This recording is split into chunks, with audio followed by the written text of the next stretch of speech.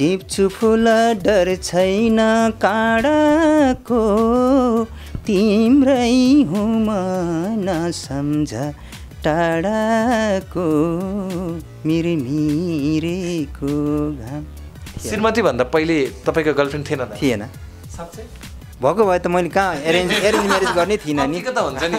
अब पहिलो पहिलो प्रेम असफल भयो अनि विवाह गर्नु पर्यो भन्ने ए होइन। नेपालमा चाहिँ पर्फर्मरलाई मात्र बढी महत्त्व दियो होइन? गीतकार सङ्गीतकारहरू छायामा भए पछाडि नै परे। बि- बिचमा सञ्चार माध्यमहरूले पनि गायक गायिकालाई मात्रै महत्त्व दिए। स्कुलको टिचरहरूलाई नि त्यति थाहा छैन बाबा सङ्गीतकार हुनुहुन्छ भनेर। भन्नु पर्यो नि त।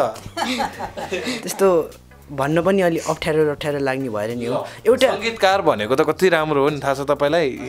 देशको एउटा गहना हो। आठ सयको हाराहारीमा तपाईँका सिर्जनाहरू छ। हजुर। अब भन्न त यो नेपाली म्युजिक इन्डस्ट्रीमा पाँच सय गीत गायो भने अथवा पाँच सय गीत बना गऱ्यो भने पाँच हजार भन्नेहरू पनि छन्। त्यो मलाई रङ गलत लाग्छ। www.laliguras.com नमस्कार हार्दिक स्वागत छ लालीगुराज डट कममा। लालीगुराज डट कमको साथमा म कमल सरगम छु। आज म एकजना त्यस्ता लोकप्रिय कलाकारको घरमा छु। धेरै समय नेपाली लोकसङ्गीत त्यसै गरी सुगम सङ्गीतमा निरन्तर अगाडि बढिराख्नु भएको उहाँका सिर्जना सुनेर हाम्रो पुस्ता विशेष गरी मेरो उमेरका पुस्ताहरू धेरै हुर्किनु भयो र अब दाइले अघिल्लो पुस्ता र अहिलेको पुस्तासम्मका ती कला श्रोता दर्शकलाई सदैव गीत सङ्गीत दिएर अझ हौसला बढाइराख्नु भएको छ। यो भनिसकेपछि उहाँका गीत सङ्गीतको प्रतिनिधित्व तपाईँ हामीले गरिराखेका छौँ। उहाँका सिर्जना जति सुन्दा पनि उति सुनौ जस्तो लाग्छ। मसँग हुनुहुन्छ लोकप्रिय कलाकार सर्जक त्यसै गरी सङ्गीतकार हुनुहुन्छ अनि स्टुडियो सञ्चालक पनि हुनुहुन्छ। राजकुमार बगर दाइलाई स्वागत। छ धन्यवाद र सम्पूर्ण दर्शकहरूमा हार्दिक नमस्कार। मैले दाईसँगै भाउजूलाई पनि देखेको छु। भाउजूलाई पनि स्वागत छ। नमस्ते। भाउजूको नाम? उमा राणा। उमा राणा। यता बहिनी पनि हुनुहुन्छ भाइ पनि हुनुहुन्छ दुवैजनालाई स्वागत छ। धन्यवाद। हजुरको नाम के हो भाइको? मेरो नाम समर्पण राणा। हजुरको? सम्पदा राणा। सम्पदा है। परिवार त सुखी परिवारको रूपमा चाहिँ कार्यान्वयन भएछ दाइ। एकदम अब दुई सन्तान ईश्वरको वरदान भन्छन्। हामी यो यो अर्थमा चाहिँ यो यो के भन्छ अरे? अहिलेको बच्चाहरूको मामलामा भनौँ यो विषयमा चाहिँ हामी भाग्यमानी हौँ सायद। हजुर सन्तानमा पनि एउटा छोरा एउटा छोरी ठ्याक्कै होइन मिलेर एकदम एकदम हजुर हो। कस्तो छ अहिलेको परिवारको पारिवारिक जीवनबाट सुरुवात गरौँ न? परिवारलाई कसरी समय दिइराख्नु भएको छ? समय त चौबिस घन्टामा बाह्र घन्टा अफिसमा हुन्छु र बाह्र घन्टा घरमै हुन्छु होइन? बाह्र घन्टा समय चाहिँ परिवारलाई दिएको छु भन्ने लाग्छ मलाई चाहिँ। अब छोराछोरी श्रीमती पनि अब यो मेरो भनौँ न यहाँ दिएको समयबाट सन्तुष्टि नै छ जस्तो लाग्छ म आफूलाई चाहिँ। सन्तान अलिक पछि जन्मनु भएको हो दाइ? सन्तान त आफूभन्दा पछि नै त जन्मन्छ नि। त्यो भन्न खोजिनँ हजुरलाई चाहिँ कुरा बुझ्नु भयो होइन तपाईँले पनि हजुर अलिअलि। मतलब उमेर जस्तो अलिकति अ, विवाहपछि धेरै पछि जन्मेको हो कि के हो? यो होइन विवाह गरेको हामी अठार महिना कि उन्नाइस महिना त्यतिमै जन्मेको हो। विवाह नै पछि गरेँ सायद। कति वर्ष हुनुहुन्थ्यो तपाईँ? हाम्रो विशेष गरेर म- मगर समाजमा अलि छिटै नै मेरो समकालीन साथीहरूले छिटै बिहा गर्नुभयो। अझै मगर कल्चरमा चाहिँ अलि छिटै नै बिहा गर्ने चलन छ। तर मेरो मेरो विषयमा भन्नुपर्दा चाहिँ अब मैले सत्ताइस वर्षमा बिहे गरेको हुँ होइन? तर अहिलेको चलनअनुसार त अझै छिटै गरेँ कि भन्ने लागिरहेको छ। अहिले अहिले अरूको विवाह हेर्दा अझ छिटो लाग्यो दाइ हजुर हो। कति खुसी लाग्दो कुरा। भाउजू विवाह भइसकेपछि दाइले कतिको माया दिनुभएको छ? दाइले एकदम माया दिनुभएको छ। हजुर। झगडा हुन्छ कि हुन्न हुन्छ अरे मैले बाहिर सुनेको। होइन त्यस्तो। जहाँ जहाँ माया त्यहीँ शङ्का हुन्छ अरे भन्ने गीत लेखेको छु नि त। अलिकति शङ्का अलिकति झगडा जस्तो अलिकति माया जस्तो हुनैपर्छ हरेक प्रेममा। तब त्यो प्रेम प्रेम बन्छ भन्ने लाग्छ म हामीलाई हामीलाई। तर त्यस्तो के अरे झगडा चाहिँ हुँदैन त्यस्तो हाम्रो। झगडा पूर्ण रूपमा झगडा हुन्न। हुँदैन। होइन घर परिवारमा त झगडा भएन भने फेरि टिक्दैन नि त होइन साथी साथीभाइसँग सोध्नुहोस् न मलाई मलाई कहिले रिस उठेको छ कि छैन भनेर सोध्नु अनि थाहा हुन्छ। म त्यही कुरा गर्दैछु। जस्तो तपाईँलाई एउटा भलात्मिक कलाकारको दर्जा पनि दिइन्छ। कहिले नरिसाउने के? अब जहिले जहिले देखे पनि हँसिलो पनि होइन एकदमै निराश पनि होइन। त्यो अनुहार भनेको लिमिटेसन कसैलाई पनि नराम्रो नभन्ने सानोलाई पनि गर्ने सम्मान तपाईँको बेग्लै छ ठुलालाई गर्ने त्यो सम्मान बेग्लै छ भनौँ न सानोलाई गर्ने आदर र ठुलालाई गर्ने सम्मान तपाईँप्रति सदैव एकै खालको छ। अनि त्यस कारण पनि दर्शक श्रोता कलाकारले हेर्ने दृष्टिकोण सायद राजकुमार बगरप्रति एकदमै पोजिटिभ हुन्छ सधैँ भाइ। थ्याङ्क यू सो मच हुन त हरेक मान्छे सधैँ एक नाच नै हुनुपर्छ भन्ने लाग्छ मलाई। कि भन्न खोजेको अर्थ अब खुसीमा नमात्तिनु दुःखमा नआत्तिनु भन्छन्। त्यस्तो भयो भने जिन्दगी चाहिँ सरल सहजसँग बग्छ होइन? त्यो हिसाबले चाहिँ र आफ्नो एउटा नेचर पनि हुन्छ।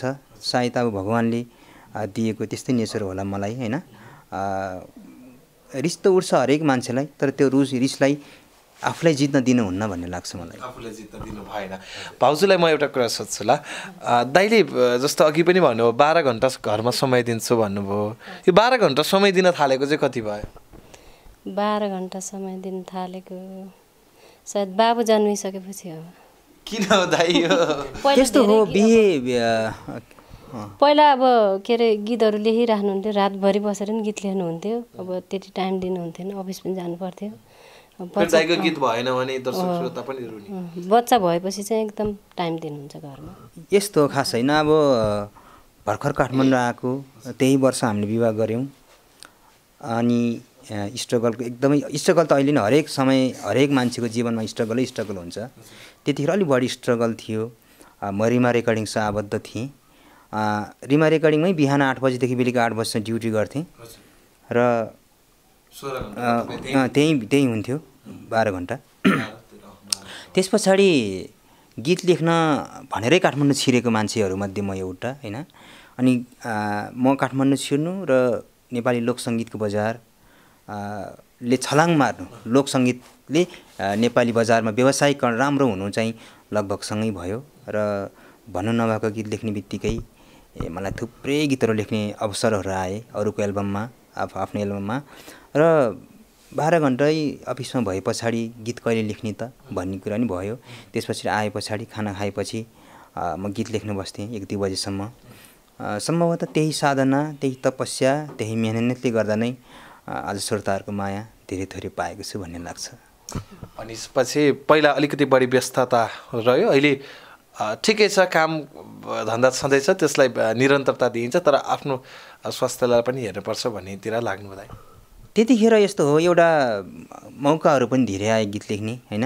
कहिले मौका नआएकोहरू होइन होइन गीत लोकदोहोरी गीत त्यतिखेर म्याक्सिमम् लेखेँ। यो अर्थमा मैले आफूलाई पनि भाग्यमानी मान्छु। किनभने त्यतिखेर यति धेरै एल्बमहरू आउँथ्यो कि बजारमा।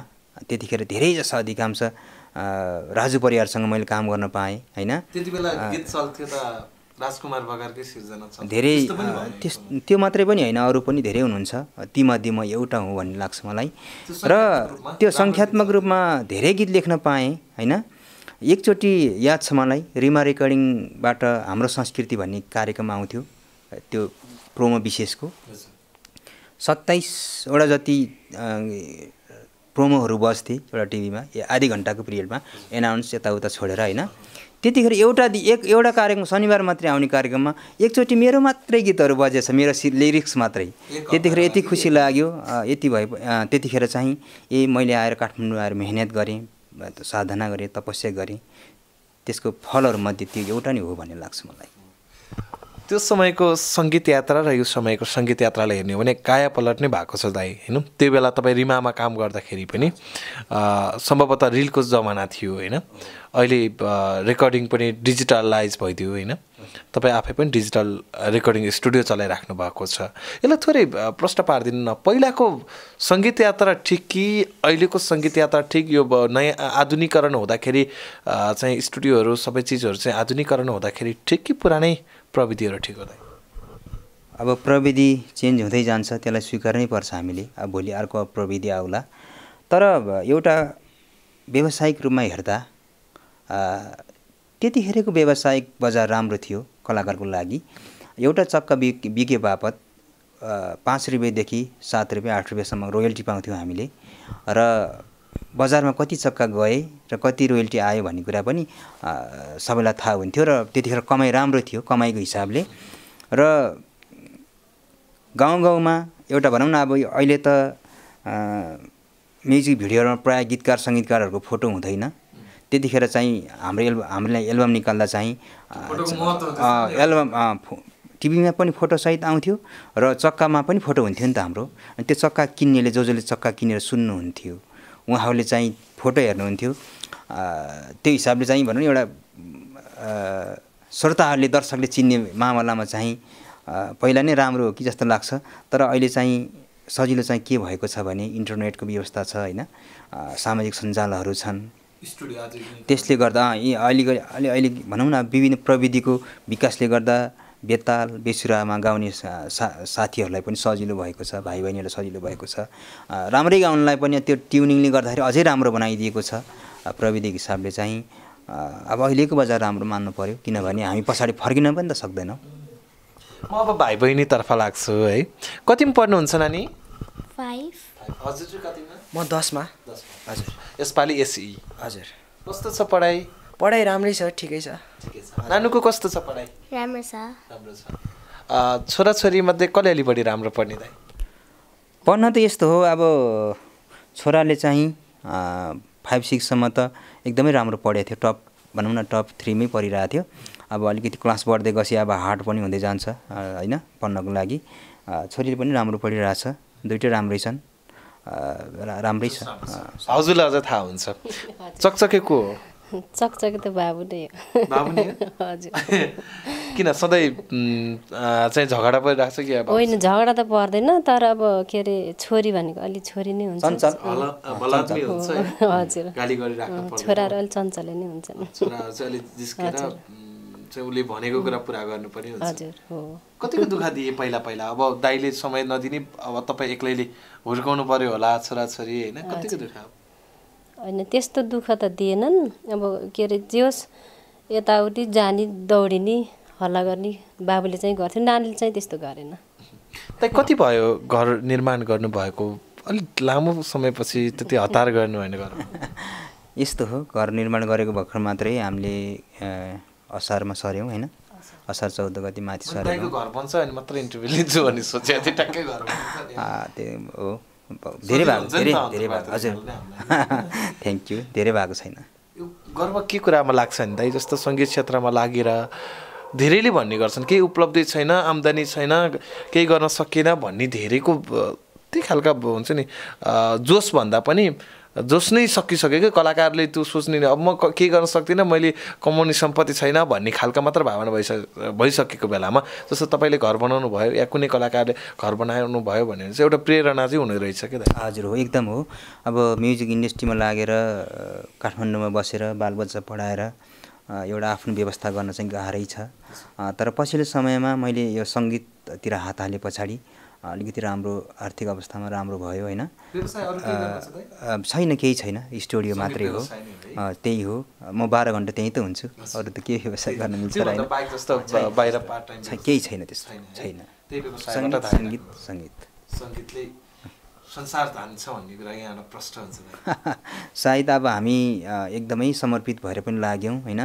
मन डुलाएनौँ कहिलेकाहीँ अब कमाइ हुँदा नहुँदा पनि हुँदा पनि हामी आत्तिएनौँ किनभने सङ्घर्ष गर्दै साधना गर्दै गएपछि ईश्वरले पनि हेर्नुहुन्छ भन्ने लाग्छ हामीलाई। मैले धेरैबाट बुझेको जस्तो राजकुमार बगरका सिर्जनाहरू जति पनि हुन्छ बौद्धिक रूपमा सिर्जना गर्ने गर्छन्। राजकुमार बगरले कुनै सिर्जना गरे भने चाहिँ शब्द शब्दमा चाहिँ केही न केही कुराहरू ल्याउन पर्छ अरे राजकुमार बगरलाई। होइन त्यो हरेक शब्दको चाहिँ त्यो ठेट कुराहरू बाहिर ल्याउन सकेन भने उसले त्यो गीत च्यातेर फाल्छ फेरि अर्को गीत सिर्जना गर्छ भन्ने खालका कुराहरू पनि आउँछ हो दाइ।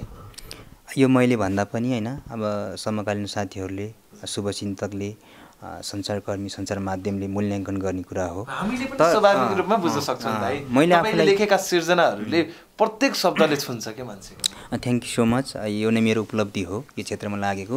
र मैले गीत लेख्दा चाहिँ एउटा गीत भनेको एउटा सर्ट मुभी हो एउटा एउटा कथा हो। हामी हरेक तपाईँ पनि गीत लेख्नुहुन्छ। एउटा गीत लेख्दा आउट आउट अफ ट्र्याक जानु हुँदैन।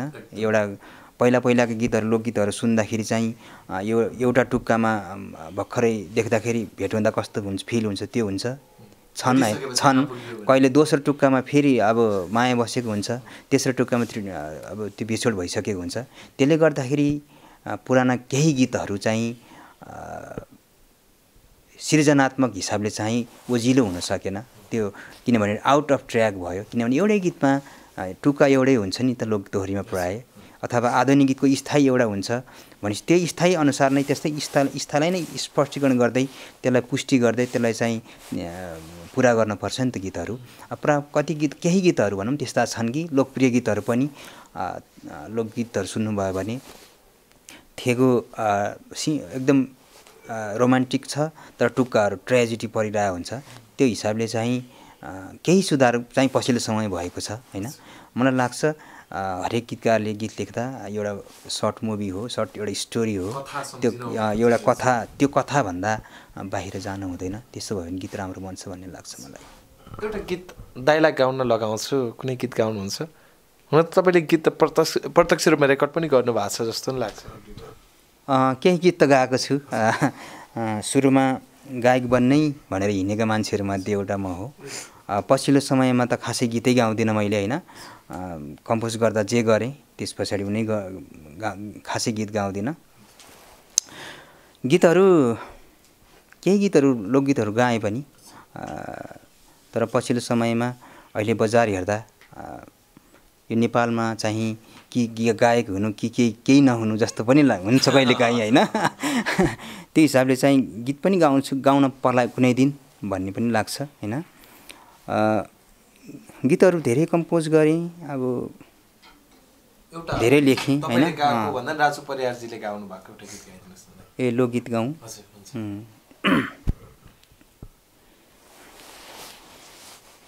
खास गायकलाई मात्रै गाउन लाउनु भएको चाहिँ जाति गायकै भएको हुनाले गाउन। जस्ट लाइक बाथरुम गायक जस्तै हो। आजको आजको मितिसम्म होइन? त्यो त्यो क्याटेगोरीको आजकल बाथरुम गायकहरूले म लोकप्रिय गायक भन्न थालिसकेँ। तपाईँ गायक भएर बाथरुम गायक भन्नुहुन्छ। टिप्छु फुल डर छैन काँडाको तिम्रै हुँ म नसम्झ टाढाको मिरमिरेको घाम। मिरमिरेको घाम लर्के चुबान तिम्रै हो रामा राम ढाँटे मरिजाम मिरमिरेको घाम। यो गीत यति लोकप्रिय भयो। यो गीतले राजु परियारलाई पनि अझ सहजता भयो गीत गाउनलाई होइन? हजुर सायद। राजु परियार खुम्मन अधिकारी लगायतका लोकप्रिय गायकहरूको दर्जालाई हेर्ने हो भने जस्तो त्यो त्यो समयलाई हेर्ने हो भने उहाँहरूका सिर्जनाहरू यति लोकप्रिय हुँदै गए। जत्तिकै त्यो अनुसारलाई हामीले त्यो त्यो सेनलाई हेर्ने हो भने राजकुमार बगर त्यति लोकप्रिय हुन सक्नु भएन त के यो चाहिँ के दोष दिनुहुन्छ? जस्तो तपाईँकै सिर्जनाबाट कलाकार गायक हिट भए तर तपाईँ हिट हुनु भएन। यो राजकुमार बगरको विषयमा मात्रै होइन। मेरो टपिकसँग मात्रै होइन। हरेक प्रस्तुतकर्ता भन्दा हरेक गीतकार सङ्गीतकार पछाडि नै छन् होइन? र यो चाहिँ नेपालको कन्टेस्टमा मात्रै हो किनभने दर्शकहरू श्रोताहरूसँग साङ्गीतिक सचेतना बढी भयो भने अलिकति साङ्गीतिक चेतना बढ्दै गयो भने चाहिँ सम्पू सबैलाई हेर्ने त्यो दृष्टिकोण सबैलाई बुझ्ने सबैलाई सुन्ने सबैको नाम खोज्ने चलन संस्कार बस्छ सायद होइन? जस्तो अन्तर्वार्तै लिनु पऱ्यो भने पनि राजकुमार बगरको अन्तर्वार्ता लियो भने त्यति चासोले नहेर्ने। त्यही राजकुमार बगरले सिर्जना गरेको गीतको कलाकारको अन्तर्वार्ता लियो भने चाहिँ यति धेरैले हेर्ने। त्यो खालको परिपाटी छ कि जस्तो सिर्जना गर्ने कलाकार म चाहिँ जहिले पनि भन्ने गर्छु कि जो सिर्जना गर्छन् त्यो मुटु हो नि त। त्यसपछि पो जन्मियो त अब, अनि हाँगाहरू होइन? त्यही त भने मैले अगाडि यो भनौँ न साङ्गीतिक साहित्यिक चेतनाको कमीले गर्दा हो। पछिल्लो समयमा केही राम्रो हुँदै गएको छ।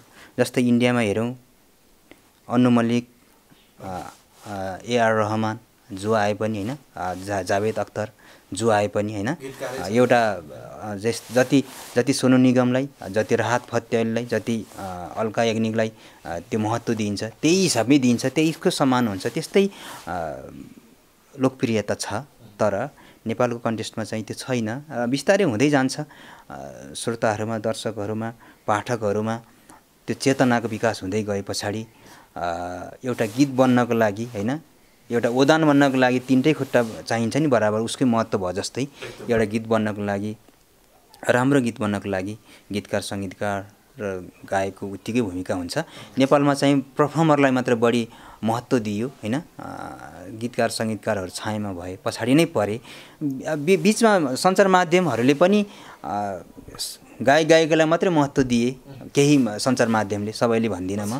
त्यो हिसाबले पनि त्यस्तो भएको सञ्चारकर्मीहरूको पनि केही कमजोरी त अवश्य पनि छ। जस्तो हामीले पनि गीतकार खोज्न चाहेनौँ कि गीतकारका सिर्जनाहरूलाई बजाउँदाखेरि पनि यसको आवाज यसको आवाज अनि यी कलाकारहरूको सिर्जना भनेर कहिले पनि बोल्न सक्छ कतिमा त नामै भनिएन। जस्तै प्रमोद खरेलको स्वर आए पछाडि उहाँको त स्वर चिनिन्छ नि त।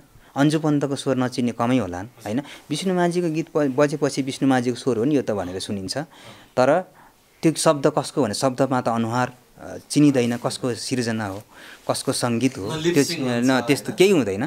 त्यो हिसाबले पनि अब गायकहरू चाहिँ गायक र गायिकाहरू बढी लोकप्रिय भएका हुन् भन्ने लाग्छ। त्यसकारण तपाईँहरू अलिकति पछाडि भन्ने भन्ने लाग्छ। हजुर हो। तर अन्य देशको तपाईँले अघि पनि जोडिहाल्नुभयो अन्य देशलाई एकचोटि निहाल्ने हो भने सबै ठाउँमा सर्जक अगाडि देख्छु छैन छैन सर्जकै अगाडि। गायक गायिकाहरूले चाहिँ गीतकार र सङ्गीतकारलाई एकदमै सम्मान गरिन्छ बाहिर होइन?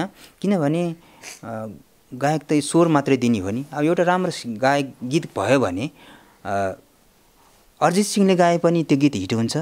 राहत फतेलले गाए पनि हिट हुन्छ। अथवा एउटा सिङ्गरलाई राम्रो गीत पाउनु राम्रो सिर्जना पाउनु अहोभाग्य हुन्छ। तर यहाँ चाहिँ हामी चाहिँ एउटा गीत गाउनको लागि गायक गायिकाको लागि चाहिँ जिउ गर्नुपर्ने अवस्था छ। दुर्भाग्य हो त्यो। तपाईँले स्टुडियो चलाइरहँदाखेरि व्यावसायिक रूपमा स्टुडियो स्टुडियो कसरी धानी राख्नु भएको छ? दाइ स्टुडियो अहिले पछिल्लो समय धेरै खुले होइन? गाह्रो छ रे स्टुडियो चलाउन भन्ने खालका धेरै बाहिर त्यस्ता हल्लाहरू पनि आउँछ। गाह्रो त एकदमै गाह्रो छ। एउटा ड्राइभरले गाडी किन्यो भने एउटा साउले ड्राइभर राखेर चलाएको भन्दा सहज हुन्छ। म आफै साउन्ड रेकर्डिङको काम पनि गर्छु होइन? त्यो हिसाबले र आफै एउटा सर्जक भएको भएर पनि मेरो मेरो गाडी भनौँ न राम्रैसँग चलि चलि चलिरहेको छ चलिरहेको छ हजुर। अलिकति ट्यालेन्ट हुनुपर्छ ड्राइभर पनि होइन तपाईँ त्यो अनुसारको ड्राइभर हुनुहुन्छ। लाइसेन्स लाइसेन्स पनि कस्तो हुन्थ्यो? एबिसी भन्ने हुन्छ नि त। त्यो ग्रेड छुट्याउने जिम्मा त्यो जिम्मा ग्रेड छुट्याउने जिम्मा तपाईँहरूकै। हामी चाहिँ एमै लिन्छौँ दाइले अब त अरूले के रूपमा लिनुहुन्छ? अब भाउजूतर्फ आउँछु म होइन? यति राम्रो परिवार छ यति सुन्दर परिवारमा आफ्नो जीवनलाई यापन गरिराख्नु भएको छ। घुमाउनु चाहिँ कत्तिकै हुन्छ दाइले? दाइले अब फुर्सद त त्यति हुँदैन। कहिलेकाहीँ शनिबार पारेर घुमाउनुहुन्छ। शनिबार पारेर घुमाउनुहुन्छ है? रहर चाहिँ कत्तिको लाग्छ? जस्तो सेलिब्रेटी हो सेलिब्रेटीसँग घुम्ने त रहर त अन्य दर्शक श्रोतालाई त हुन्छ आफ्नो श्रीमतीलाई किन नहोला र भाउजूलाई कतिको रहर लाग्छ दाइसँग? अब रहर अब के अरे आफ्नै घरको मान्छे त अब त्यो सेलिब्रेटी भन्ने त्यति उनी हुँदो रहेनछ। हुँदैन मात्रै हुँदैन। तर पनि घुमाउन लगे हुन्थ्यो जस्तो हुन्छ। हजुर। त्यो बेला जुन बेला एकदमै रहर हुँदा घुमाउन नलाँदाखेरि दाइसँग डिस्कस लामो समयसम्म डिस्कस परेको छैन त त्यस्तो त हुँदैन। अब पहिले नै के अरे सल्लाह हुन्छ। अब यो शनिबार जाने कि नजाने घर बस्ने कि नबस्ने पहिले सल्लाह हुन्छ त्यस्तो चाहिँ हुँदैन। डिस्कस हुँदैन। भनेपछि एकदम सुखी परिवार। कतिको छुच्चो हुनुहुन्छ दाइ दाई छुच्चो हुनुहुन्न। हुनुहुन्न। के बढी खानुहुन्छ? के खाना रुचाउनुहुन्छ दाइले दाइले शङ्का लाग्यो मलाई नि आउने बित्तिकै हामीले आलु खाएको हुनाले दाइले आलु? आलु नै खानुहुन्छ। तरकारीमा आलु बिना तरकारी नै खानुहुन्न हजुर। एकदम आलु मनपर्छ। एकदम आलु आलु खाँदा खाँदै आलु जस्तो भइसक्यो जिन्दगीमा धेरै धेरै आलु त खाइए छैन है। अर्को अर्को आलु क्या? तर तर यताको भेजी के तरकारीको आलु चाहिँ धेरै खाइयो। अर्को आलु खाने पनि अवस्था पनि आउँदैन हजुर। अनि म एकदम फेभरेट हो आलु। अब आलु धेरै खान त नहुने हो। अहिलेसम्म सुगर छैन। तैपनि डर लाग्छ कहिलेकाहीँ कतै आलु खाँदा खाँदै अ, सुगर पो हुन्छ कि भन्ने चाहिँ पिर लाग्छ। तर मलाई हरेक तरकारीमा आलु मिसिएको मन एकदम मनपर्छ। अब अब कोही कसैले चाहिँ पार्टीमा बोलाउनु भयो भने मासु भन्दा दाइले आलु खुवाउनु होला। होइन मासु नि खान्छु तर अरू तरकारीमा चाहिँ आलु बेस्ट हो है? दाइ अब जस्तो एकदम सुन्दर परिवारसँग जोडिएर यो सम्बन्ध त आफ्नो ठाउँमा छँदैछ। होइन? यो सुन्दर परिवार बनाउनका लागि पनि धेरै कुराहरूको चाहिँ आवश्यकता पर्छ होइन? सम्बन्धसँग पनि जोडिएको हुनाले हामी सम्बन्धभित्रै रहेर कुराकानी गरिराखेका छौँ होइन?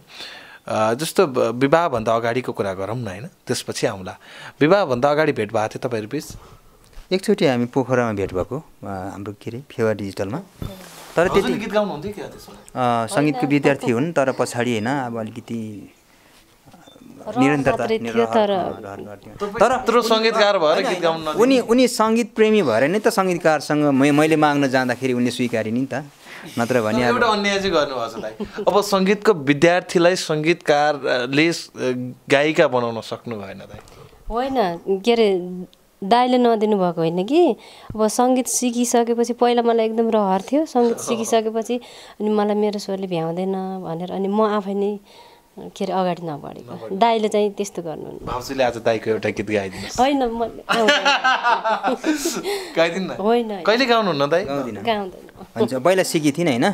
तर पछाडि अब कति भइसक्यो नि छोडेको नि होइन? मतलब तपाईँका गीतहरू कहिले काहीँ गुनगुनाउनु गुनगुनाउँदिनँ। कहिले गुनगुनाउनु हामी घरमा त गीतै गाउँदैनौँ खास भन्ने नि सुन्ने मात्रै हो टिभीमा हेर्ने होइन? सुन्ने मात्रै हो। हजुर। बाबुलाई बाबाको गीत गाउन आउँछ? मलाई त भन्नु पऱ्यो भने गीतै गाउन आउँदैन। हजुर। हजुरलाई आउँछ? आउँदैन। किन नि? छोरीलाई इङ्ग्लिस गीत आउँछ गाइदै हो? एउटा आउँदैन। आउँदैन। कति ज्ञानी हुनुहुँदो रहेछ तपाईँ त। तर बाबाको गीत सुन्नुपर्छ नि। सुन्नु भएको छ अहिलेसम्म बाबाको गीत सुन्नु भएको छैन? एउटा दुइटा कुन कुन सुन्नु भएको छ भन्नु त?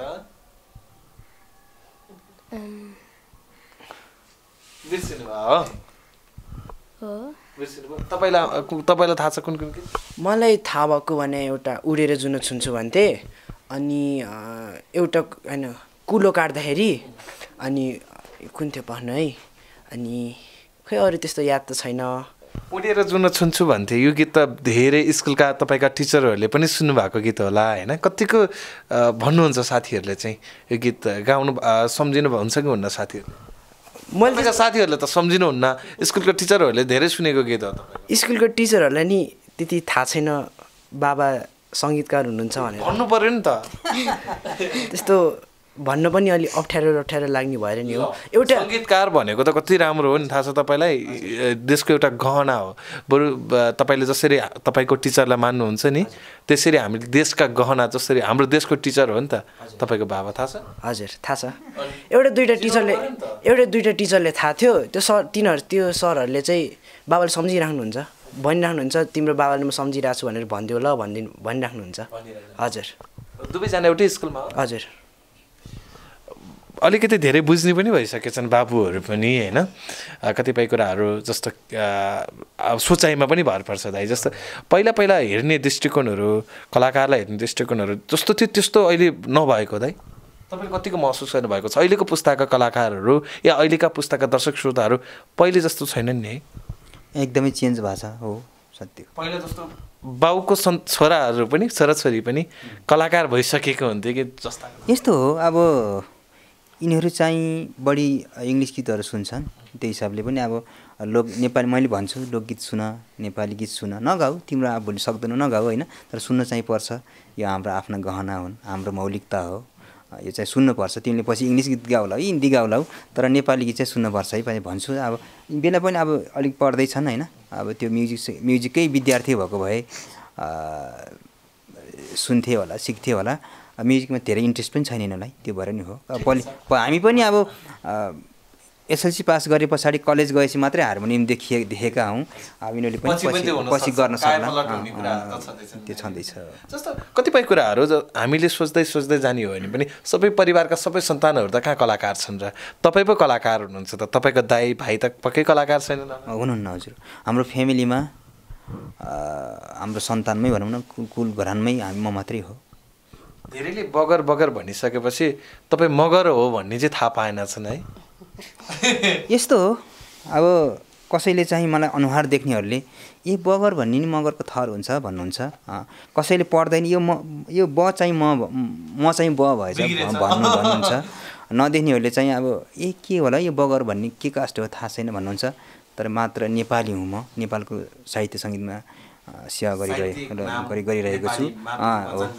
राजकुमार बोगर ने एउटा सङ्गीतकर्मी हो जसले नेपाली साहित्य र नेपाली सङ्गीतको महासागरमा एक थोपा भए पनि पानी थप्न साधना छ साधना र रच छ भन्ने बुझिदिनु भयो हुन्छ। हजुर। भाउजूलाई एउटा कुरा सोध्छु ल। जस्तो दाई धेरै बाहिर बसिराख्ने धेरै भन्ने बित्तिकै ऐनाकै प्रसङ्ग जोडिहाल्छ। पन्ध्र पन्ध्र घन्टा सोह्र घन्टासम्म बाहिर बसिराख्नु पर्ने त्यो परिस्थितिमा। कहिलेकाहीँ दाई चाहिँ गर्लफ्रेन्ड घुमाएर चाहिँ बस्छु कि भन्ने त्यो उमेरमा अब त दाइले गर्लफ्रेन्ड घुमाउनु पनि हुन्न होला। त्यो बेला चाहिँ त्यस्तो हुन्थ्यो कि हुन्न त्यो शङ्का? होइन अब के अरे आफ्नो विश्वास हो। विश्वास कतिको गर्नुहुन्थ्यो एकदम गर्छु।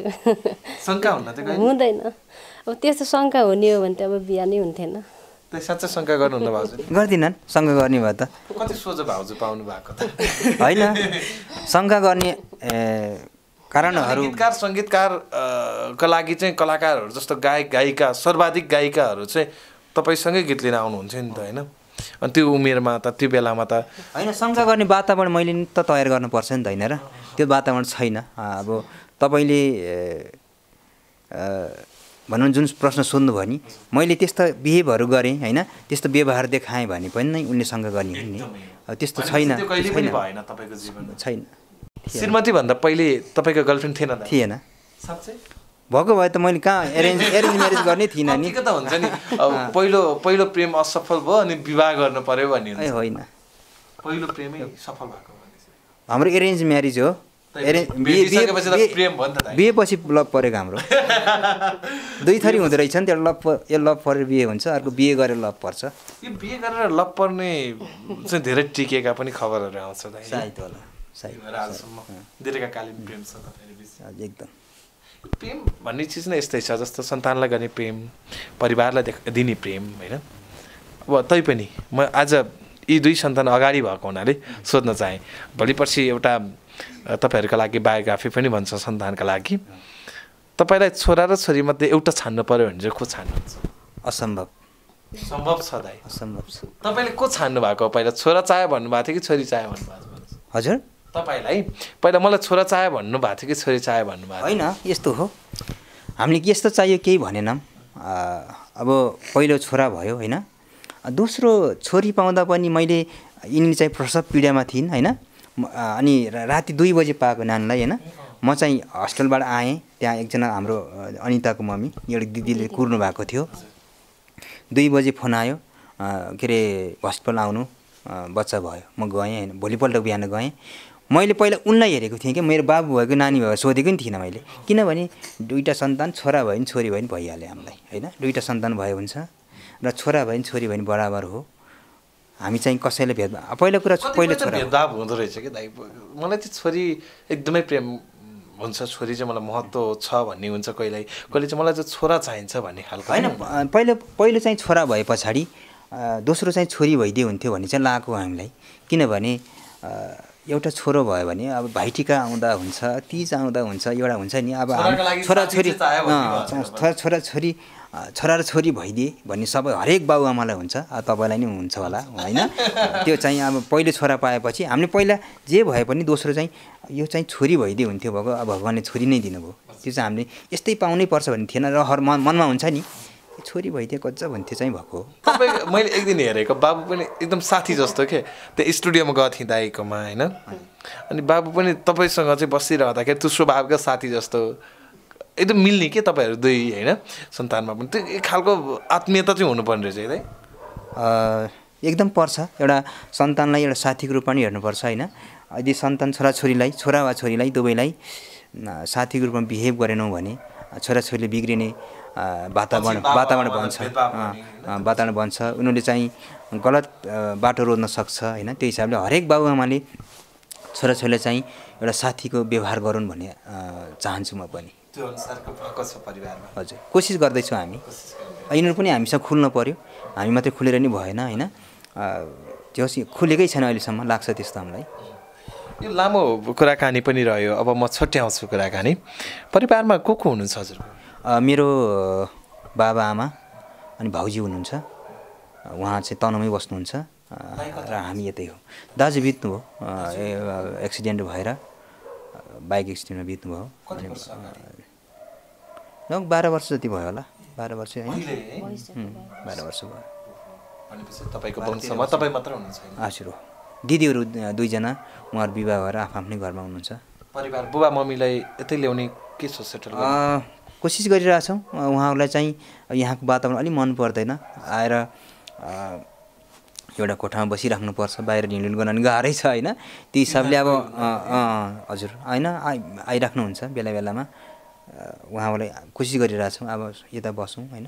उता पनि रमाइलो छ तनहुमा पनि। माइती घर दुवै एकै ठाउँ हो हजुरहरूको माइती उसको पर्व- पर्वत बालाकोट गाविस हो। भनेपछि माग्न अलिक टाढै जानुभएको छ तनहुबाट पर्वत होइन। माग्न त पोखरा गएको म। बिबी बिबी अनुरागीजीले चाहिँ यो लमीको काम गर्नुभएको। उहाँ। हजुर उहाँले गर्नुभएको। उनी चाहिँ उहाँकै के अरे। सङ्गीत सङ्ग- सङ्गीत अनुरागीको तपाईँ सङ्गीतको विद्यार्थी। चेला। विद्यार्थी। भनौँ। विद्यार्थी। विद्यार्थी। हुन्। बहिनी भएर मलाई बिहा गरिदिनु भयो। बहिनी भएर बिहा गरिदिनु भएको। हजुर। त्यस्तो। हो, कति खुसी लाग्यो। सङ्गीतले जन्माएको एउटा जोडी भनौँ न होइन? सङ्गीतमै हुर्किएको जोडी? र सङ्गीतमै मर्नेसम्म होइन, सङ्गीतमै यिनी अब उनले अब एकदम सङ्गीतप्रति रुचि भएको सङ्गीत बुझेको यो क्षेत्र बुझेको भएर नै आज मेरो यात्रा यहाँसम्म लम्बिएको हो होइन? अब बिचमा नबुझ्ने कुरा नबुझ्ने शङ्का गर्ने विभिन्न कुरा भएको भए सम्भवतः मेरो टुङ यात्रा टुङ्गिन्थ्यो होला भन्ने लाग्छ मलाई। अब हरेक लोग्ने मान्छे सक्सेस हुनलाई पछाडिपट्टि नारीको हात हुन्छ भन्ने हामी हेरिरहेछौँ इतिहास। मेरो मेरोमा पनि त्यही लागु हुन्छ। उनको एकदम सपोर्ट उनको सहयोग उनको भनौँ न मलाई दिने ऊर्जा अ, ले नै गर्दा नै आजसम्म लगभग बिस बाइस वर्ष भयो मि म्युजिक इन्डस्ट्रीमा लागेको निरन्तर होइन? यो यात्रा जारी छ। अब तपाईँलाई केही अन्तिम अन्तिम प्रश्न पनि रहन्छ तर यो एकदम महत्त्वपूर्ण प्रश्नहरू छ। मैले सोध्नै पनि विषयभित्र रहेको।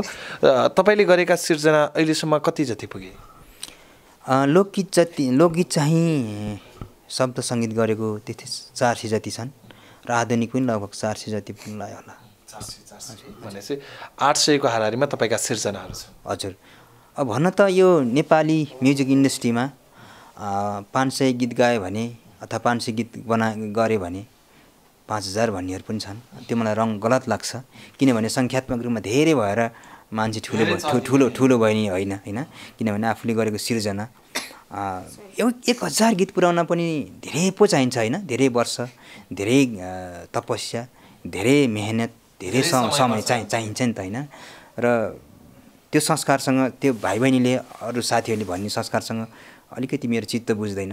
किनभने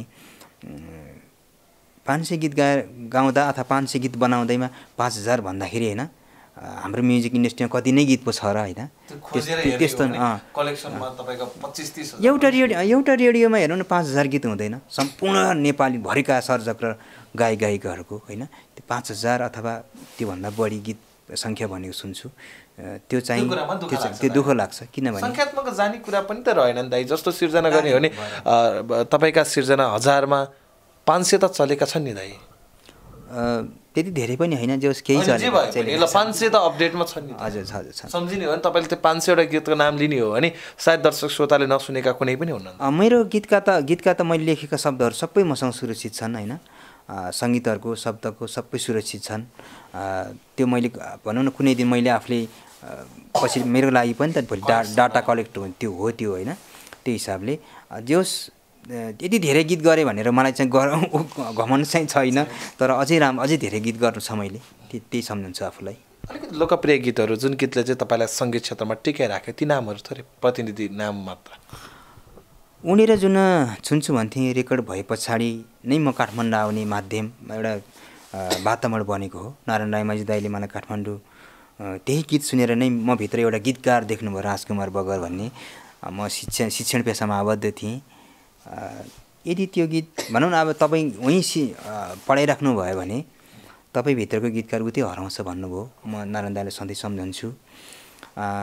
यता कुलो काट्दाखेरि नारायण दाईकै कम्पोज हो। राजेश पायल दाईले गाउनु भएको छ। त्यस पछाडि तिमीलाई आफ्नो भन्ने मेरो त्यो मेरो पहिलो सङ्गीत हो। अन्जु पन्तले गाउनु भएको। र यतिखेर कुमार के कुमार केसी भाइलाई पनि सम्झन्छु। लोकदोहोरी गीतहरू गरिरहेको मान्छे। एउटा आधुनिक गीतमा पनि कोसिस गर्छु भन्दाखेरि उहाँले लगानी गरेर म भित्र एउटा भरोसा मेरो यात्रालाई साथ दिनुभयो। उहाँलाई सम्झन्छु। म त तिम्रो मान्छे भन्न सकिनँ नरेन्द्र पेसी दाईले गाउनुभएको मेरो पहिलो गीत होइन? किन शङ्का गर्छौ? प्रमोद खरेलले म गाउनुभएको मेरो पहिलो गीत होइन? त्यस पछाडि तिम्रो साथमा हाँस्न पाएँ तिमी छौ र पो बाँचेको छु म होइन? हजुर छु म होइन। त्यस पछाडि सुनि खबर जीवन साथी असल पाकी छोरी यी गीतहरू चाहिँ श्रोताले एकदमै रुचाइदिनु भएको छ। हजुर। आधुनिक दोहोरीमा चाहिँ पहिला मैले केही गीतहरू आफ्नै प्रस्तुति भनौँ न आफै आफै पनि गाएँ केही लोकगीतहरू दोहोरी गीतहरू। पछाडि मेरो प्रस्तुतिमा जस्ट म एउटा राइटर अथवा मेरो प्रस्तुतिमा चाहिँ मिरमिरेको घाम मेरो पहिलो हो जुन अगाडि मैले सुनाएँ। त्यही गीतबाट नै म काठमाडौँमा चाहिँ बस्ने आधार भने भन्छु म। मनको देउतेले खुमन अधिकारी भाइले पहिलोचोटि गाउनु भएको र उहाँले पनि सम्झनुहुन्छ। उहाँको व्यावसायिक गायन यात्रा यही गीतले सृजनाबाट मैले जहिले अन्तर्वार्तामा उहाँको यो शब्द कहिले छुट्याएको न सहज बनायो।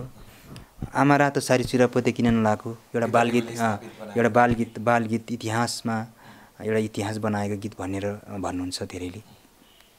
त्यस पछाडि माफ गर भुल भए राजु परियार र लक्ष्मी नेपालले गाउनुभएको एउटै डोरी पासु लगम भयो।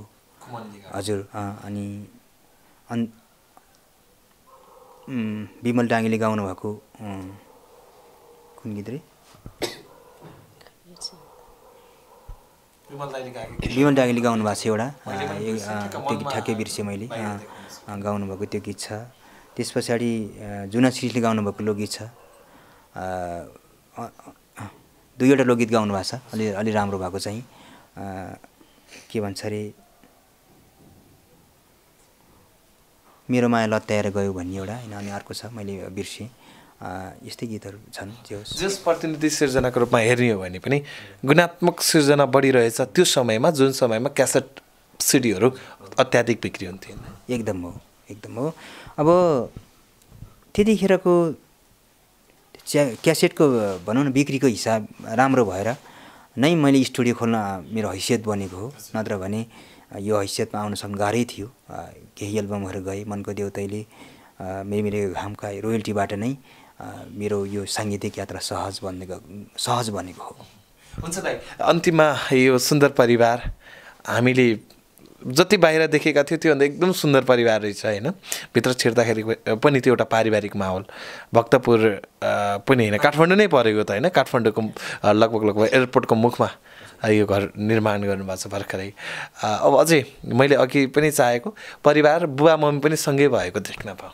एकदम थ्याङ्क यू होइन? हामी कोसिस गरिरहेको छौँ बुवा आमाको चाहना अनुसार उहाँहरू उहीँ बस्नु भएको छ। दसैँ अगाडि आउनु भएको थियो होइन? गाउँमा रमाइलो पनि छ त्यो हिसाबले पनि होला। बुढाबुढीलाई गाउँ नै मनपर्छ प्रायः किनभने हिँडुल गर्न मिल्ने सबै छरछिमेकी गाईको दुध भैँसीको दुध दुहेर खान पाउने कुखुरा कुखुरा बाख्रासँग खेल्न पाउने त्यही हिसाबले पनि होला। आउनुहुन्छ होला सायद होइन। बुवा आमा आउनुहुन्छ भनेर हामीले तल थपेको यो वर्ष खास त होइन। अब तल अलिकति कन्जस्टेड भयो होइन कोठाहरू थोरै भयो पुग्दैन। बाबा आमा आउनु आउनुभयो भने भनेर नै थपेका हौँ। एकदमै थ्याङ्क यू तपाईँहरूलाई सबैलाई लालीगुराँस टिमलाई। अ, यहाँ घरसम्म आएर हाम्रो स परिवारको धेरै धेरै कुरा भनौँ न हामीले भन्न पायौँ। हाम्रो दर्शक शुभचिन्तकसम्म राख्न पायौँ। यहाँलाई धेरै धेरै आभार व्यक्त गर्छु। थ्याङ्क यू सर भाउजूलाई पनि धन्यवाद। थोरै बोल्न लगायो भनेर धेरैले रिसाउनु भएको होला। दाइले अघि नै मलाई भनेको थियो। भाउजूलाई कम बोल्न लगायो भनेर। भाइहरू त अब कम नै बोल्नुहुन्छ। धन्यवाद।